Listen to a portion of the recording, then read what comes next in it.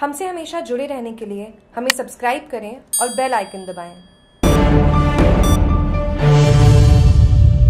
बगड़ी नगर थाना अंतर्गत केलवाद में ट्रैक्टर ने महिला को लिया चपेट में। हादसे में महिला घटू देवी की हुई मौके पर दर्दनाक मौत। सोजत के केलवाद निवासी महिला पैदल चलते समय लिया चपेट में।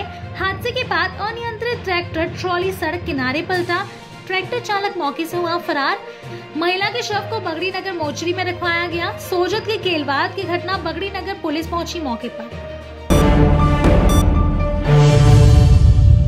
अभी आई खबर के मुताबिक अवैध हथियार के कारोबार में किशोर को धकेला अवैध पिस्टल एवं दो ज़िंदा कारतूस के साथ संरक्षण में लिया दो बदमाश भी गिरफ़्तार। अनलॉक वन के प्रथम चरण में अब शहर में अवैध हथियारों की खरीद फरोख्त भी सामने आने लगी है। बदमाश अपने काले कारोबार में बालकों को धकेल रहे हैं। महामंदिर पुलिस ने एक किशोर को संरक्षण में लेकर उसके पास से अवैध पिस्तल व दो ज़िंदा कारतूस बरामद किए हैं। पूछताछ में दो बदमाशों का नाम सामने आने पर पुलिस ने उन्हें भी पकड़ा है।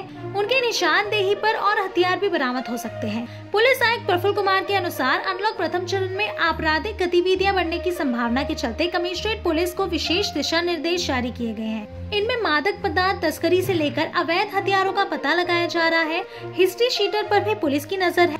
बुधवार रात को महामंदिर पुलिस ने एक किशोर को अवैध हथियार के साथ पकड़ा। थाना अधिकारी सुमेर दान ने बताया कि भदवासिया ओवरब्रिज के निकट किशोर के पास से एक अवैध पिस्टल एवं दो ज़िंदा कारतूस जब्त किए गए।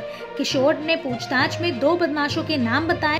इस पर जिला स्पेशल टीम ने दोनों बदमाशों शंभू भवन फतेह, सागर मस्जिद के निकट रहने वाले विजय कुमार उर्फ़ काली एवं रामबाग महामंदिर निवासी वैभव कछवाल को हिरासत में लिया।